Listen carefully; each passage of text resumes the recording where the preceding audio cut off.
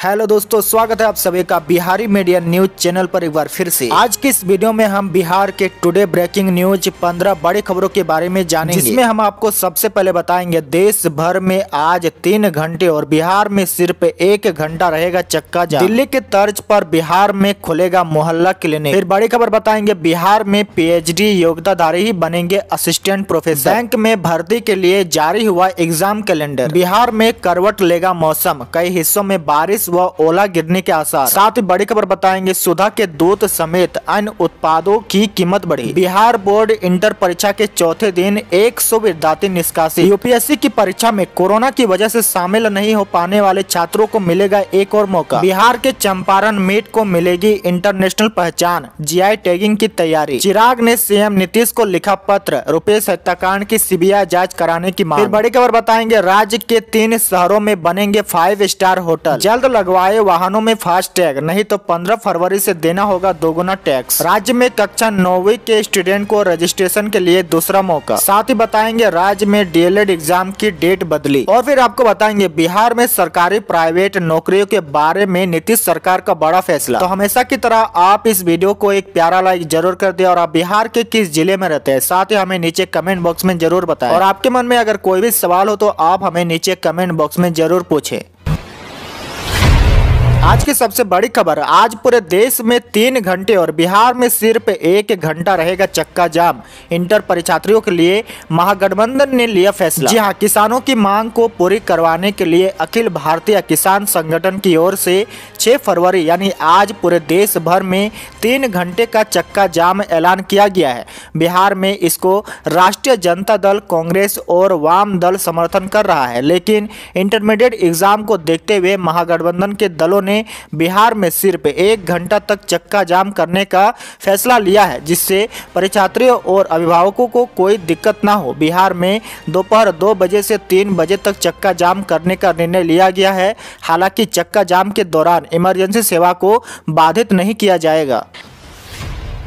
अगली बड़ी खबर, बैंक में भर्ती के लिए जारी हुआ एग्ज़ाम कैलेंडर, अगस्त से दिसंबर तक होगी परीक्षा। जी हाँ, आईबीपीएस ने 2021 का एग्ज़ाम कैलेंडर जारी कर दिया है। सरकारी बैंक में क्लर्क, पीओ मैनेजमेंट ट्रेनी और स्पेशलिस्ट ऑफिसर के पदों पर नियुक्ति के लिए आईबीपीएस अगस्त से दिसंबर 2021 तक परीक्षाएँ आयोजित करेगा। आईबीपीएस ने कहा कि इन सभी परीक्षाओं के लिए आवेदन की प्रक्रिया ऑनलाइन होगी।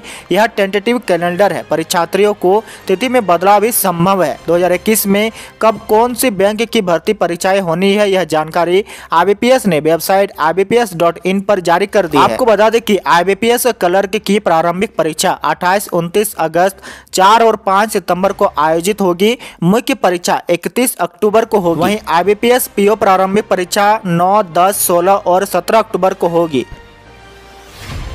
बिहार में करवट लेगा मौसम। कई हिस्सों में बारिश व ओला गिरने के आसार। जी हाँ, बिहार में मौसम के बदलाव की परिस्थितियाँ तैयार है। शनिवार को राज्य के कई हिस्सों में गरज तड़क के साथ बारिश के आसार है। कुछ जगहों पर ओले गिर सकते हैं। राजधानी पटना में भी आंशिक बादल छाए रहेंगे और बूंदाबूंदी हो सकती है। मौसम विज्ञान केंद्र पटना ने इस बाबत येलो अलर्ट जारी किया है। पटना मौसम विज्ञान केंद्र के निदेशक विवेक सिन्हा ने कहा कि शुक्रवार की शाम में मौसम में बदलाव बदलाव का असर चंपारण के इलाके में दिखने लगा है। अगले 24 घंटे में या राज्य भर में विस्तार पाया जाएगा। आंधी, पानी और गरज तड़क की स्थिति रहेगी। उत्तर पश्चिमी बिहार, उत्तर मध्य बिहार और उत्तर पूर्व बिहार में इसका असर ज़्यादा दिखेगा। अगली बड़ी खबर, सुधा समेत अन्य उत्पादों की कीमत बढ़ी। सात फरवरी से लागू होगी नई दर। जी हाँ सुधा के दूध समेत अन्य उत्पादों की कीमत बढ़ा दी गई है। प्रति लीटर दूध की कीमत में औसतन दो रुपये की वृद्धि की गई है। सात फरवरी से नई दरें लागू होगी। इससे पहले सुधा ब्रांड के दूध और अन्य उत्पादों में नवंबर दो हज़ार उन्नीस में वृद्धि की गई थी। इस प्रकार करीब चौदह महीने बाद फिर से यह बढ़ोतरी की जा रही है। वहीं सुधा के दही और टेटाफेक फ्लेवर्ड दूध आदि की कीमत में वृद्धि नहीं की गई है। साथ ही पशुपालक को भी दी जाने वाली दर भी कंपेड ने प्रति किलो एक रुपये छत्तीस पैसे से दो रुपये तैयलीस पैसे तक बढ़ा दी है। बिहार बोर्ड इंटर इतिहास और अंग्रेज़ी की परीक्षा में सौ निष्कासित, बारह फर्जी परीक्षार्थी पकड़े गए। बिहार बोर्ड इंटरमीडिएट वार्षिक परीक्षा 2021 के चौथे दिन दोनों पालियों मिलाकर कदाचार के आरोप में सौ परीक्षार्थियों को निष्कासित किया गया। सबसे ज़्यादा नवादा ज़िले से बाईस व पटना ज़िले से ग्यारह परीक्षार्थी निकाले गए। प्रदेश भर में इक्कीस जिलों से सौ परीक्षार्थियों को विभिन्न परीक्षा केंद्रों से निष्कासित किया गया। वहीं प्रदेश भर के चार जिलों से बारह फर्जी छात्र को भी पकड़ा गया। इसके अलावा प्रदेश देश भर में शांतिपूर्ण परीक्षा संपन्न हुई। ज्ञात हो कि परीक्षा के चौथे दिन दो पालियों में परीक्षा ली गई थी।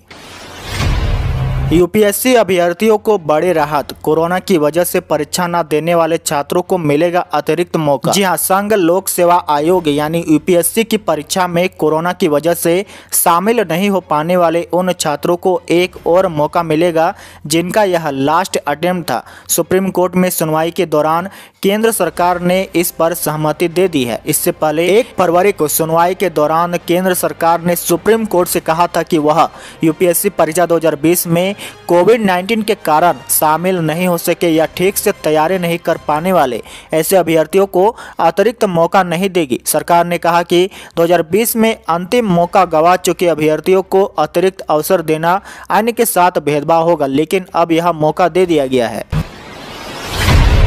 बड़ी खबर बिहार के चंपारण मीट को मिलेगी इंटरनेशनल पहचान। जीआई टैगिंग की तैयारी। जी हाँ। बिहार के मधुबनी पेंटिंग और मखाना की दुनिया में जो पहचान है वैसे ही पहचान आने वाले दिनों में चंपारण की मीट की होगी। बिहार पशु विज्ञान विश्वविद्यालय इसके प्रयास में जुटा हुआ है। कुलपति डॉक्टर रामेश्वर सिंह ने कहा कि जल्द ही बिहार की चंपारण मीट की जीआई टैगिंग विश्वविद्यालय द्वारा करा ली जाएगी। पटना के कई रेस्टोरेंट मालिक मीट दुकानदार छात्र व शिक्षकों को मांस को बेहतर ढंग से काटने, स्वच्छता का ध्यान रखने और मांस निकालने के लिए स्वस्थ पशुओं के चयन पर प्रकाश डाला है। चिराग ने सीएम नीतीश को लिखा पत्र। रुपेश हत्याकांड की सीबीआई जाँच कराने की मांग। रुपेश सिंह हत्याकांड का खुलासा भले ही पटना पुलिस ने कर दिया हो, लेकिन पटना पुलिस के दावे को न तो परिवार मानने को तैयार है और न ही नीतीश कुमार की विरोधी। एलजेपी अध्यक्ष चिराग पासवान ने इस मामले को लेकर मुख्यमंत्री नीतीश कुमार को एक पत्र लिखा है। चिराग पासवान ने नीतीश कुमार के सामने मांग रखी है कि वह रुपेश हत्याकांड की सीबीआई जाँच कराए। नीतीश कुमार को लिखे अपने पत्र में चिराग पासवान ने कहा कि बारह जनवरी को इंडिगो एयरलाइंस के स्टेशन मैनेजर रुपेश कुमार सिंह की गोली मारकर हत्या कर दी गई। हत्याकांड की जाँच पटना पुलिस ने की और अब इसे रोडवेज़ का मामला बताकर केस बंद किया जा रहा है। बिहार पुलिस की जाँच से परिवार के सदस्य संतुष्ट नहीं है। रुपेश के बड़े भाई वर्षों से जेडीयू के नेता रहे हैं। परिवार के सभी सदस्य आपसे न्याय की उम्मीद करते हुए स्वर्गीय रुपेश सिंह हत्याकांड की सीबीआई जाँच कराना चाहते हैं। बिहार के इन तीन शहरों में बनेंगे फाइव स्टार होटल अप्रैल से शुरू होगा काम। जी हाँ बिहार में फाइव स्टार होटल के निर्माण को मंजूरी मिल गई है। पर्यटन विभाग के मंत्री जीवेश कुमार ने बताया कि राज्य में तीन शहरों में जल्द ही फाइव स्टार होटल के निर्माण शुरू होने वाले हैं। जानकारी के अनुसार पटना, नालंदा, बोधगया में बनने वाले इन होटल के निर्माण का काम अप्रैल महीने से शुरू हो जाएगा। पटना के बाकीपुर डिपो परिसर और होटल पाटलिपुत्र अशोक परिसर के लिए अगले एक सप्ताह में टेंडर की प्रक्रिया शुरू हो जाएगी। जीवेश कुमार ने बताया कि राजधानी के सुल्तान पैलेस में फ़िलहाल काम रोक दिया गया है।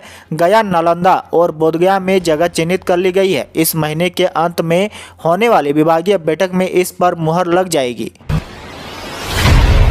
जल्द लगाए वाहनों में फास्टैग नहीं तो 15 फरवरी से देना होगा दोगुना टैक्स। राष्ट्रीय राजमार्ग संख्या 30 पर बाईपास स्थित पटना बख्तियारपुर टोल प्लाजा से हर दिन गुजरने वाले वाहनों में फास्टैग कार्ड लगाने की गति बेहद धीमी है। एक जनवरी से अभी तक 50 प्रतिशत वाहनों में ही फास्टैग लगाए गए हैं। लगभग 50 प्रतिशत वालों में फास्टैग कार्ड ही नहीं है। यह जानकारी टोल प्लाजा कंपनी के महाप्रबंधक ने दी। उन्होंने बताया कि 15 फरवरी से टोल के सभी 12 लेन कैशलेस हो जाएँगे। इसके बाद बिना फास्ट कार्ड लगे वाहन लेकर लेन में प्रवेश करने के बाद चालक को दोगुना टोल टैक्स देना होगा। इसके बाद ही वह पार कर पाएँगे। अगली बड़ी खबर, नौवीं के स्टूडेंट को दूसरा मौका। अगर आपका बच्चा भी नहीं करा पाया रजिस्ट्रेशन तो 6 से 12 फरवरी के बीच है मौका। बिहार विद्यालय परीक्षा समिति द्वारा वार्षिक माध्यमिक परीक्षा 2022 में सम्मिलित होने के लिए नौवीं कक्षा में पढ़ रहे छात्रों को राहत दी गई है। जिन छात्रों ने रजिस्ट्रेशन नहीं कराया है, उनके लिए फिर मौका दिया गया है। इस विशेष अवसर के तहत छः से बारह फरवरी के बीच का समय तय किया गया है। इस दौरान रजिस्ट्रेशन के साथ फ़ीस जमा करने का काम आसानी से किया जाए बिहार विद्यालय परीक्षा समिति के अध्यक्ष आनंद किशोर ने बताया कि रजिस्ट्रेशन और शुल्क जमा करने के लिए www.secondary.biharboardonline.com वेबसाइट पर जाना होगा। जिन विद्यार्थियों का रजिस्ट्रेशन पूर्व में किया जा चुका है, लेकिन शुल्क अभी तक जमा नहीं हुआ है तो संबंधित विद्यालय के प्रधान अध्यापक द्वारा ऐसे विद्यार्थियों का बकाया शुल्क भी इस अवधि के दौरान ऑनलाइन जमा किया जाएगा। अगली बड़ी खबर, बिहार विद्यालय परीक्षा समिति ने डीएलएड परीक्षा का परीक्षा को निरस्त कर दिया है। इसके लिए 17 से 21 मार्च तक का समय निर्धारित किया गया था। बोर्ड का कहना है कि इसे विशेष कारणों से स्थगित किया जा रहा है। अब यह परीक्षा नए शेड्यूल 6 से 10 अप्रैल के बीच होगी। दिल्ली के तर्ज पर बिहार में खुलेंगे मोहल्ला क्लिनिक, पीपीडी मोड पर बनेंगे सार्वजनिक शौचालय। राज्य में निगम की सशक्त स्थायी समिति की अड़तालीसवीं साधारण बैठक 10 फरवरी को होगी। बैठक में दिल्ली में बने मोहल्ला क्लिनिक की तरह निगम क्षेत्रों को भी इसे खोलने का निर्णय लिया जाएगा। इसके लिए प्रस्ताव लाया गया है। जानकारों के अनुसार दिल्ली की तर्ज पर मॉडल के रूप में प्राइमरी हेल्थ सेंटर की तरह मोहल्ला क्लिनिक शुरू करने की तैयारी में है। इसमें लोगों को मुफ़्त में स्वास्थ्य सेवाएँ व दवाइयाँ मिले मिलेगी। इससे सरकारी अस्पतालों में छोटी समस्याओं के लिए लोगों की भीड़ कम होगी। मोहल्ला क्लिनिक में बड़े भवन की ज़रूरत नहीं है। नए सार्वजनिक शौचालय का निर्माण पीपीडी मोड पर बनाने पर भी निर्णय लिया जाएगा। साथ ही चालू वित्तीय वर्ष के बजट एस्टिमेट मोहल्ला क्लिनिक खोलने सहित आठ एजेंडों पर चर्चा होगी। बिहार में सरकारी प्राइवेट नौकरियों के बारे में नीतीश सरकार का बड़ा फैसला। जी हाँ, नौकरी की तलाश कर रहे युवाओं के लिए नीतीश सरकार ने एक बड़ा फैसला किया है। श्रम संसाधन विभाग ने बिहार के युवाओं के रोज़गार को ध्यान में रखते हुए मार्च में राज्य स्तरीय पोर्टल शुरू करेगा, जहाँ उन्हें रोज़गार संबंधित सभी जानकारियाँ हर दिन आसानी से मिल पाएगी। इस पोर्टल पर बिहार के अलावा देश के अन्य राज्यों में सरकारी और निजी संस्थान से निकलने वाली नौकरियों के बारे में में जानकारी रहेगी। यह बिल्कुल मुफ़्त होगी। युवाओं को इसके लिए एनसीएस पोर्टल पर निबंधन कराना होगा, जहाँ से उन्हें रोज़गार संबंधी अलर्ट भी एसएमएस के माध्यम से भेजा जाएगा, ताकि युवाओं को विभाग के माध्यम से लगाए जाने वाले रोज़गार मेले की जानकारी नियमित मोबाइल पर अपडेट आती रहेगी। और अंत की बड़ी खबर, बिहार में पीएचडी योग्यताधारी ही बनेंगे असिस्टेंट प्रोफेसर अब नेट नहीं होगा ज़रूरी। जी हाँ असिस्टेंट प्रोफेसर के लिए अब नेट जेआरएफ का महत्व आने वाले दिनों में नहीं रह जाएगा। एक जुलाई 2021 से असिस्टेंट प्रोफेसर के लिए सिर्फ़ और सिर्फ़ पीएचडी की डिग्री अनिवार्य करने की बात हो रही है।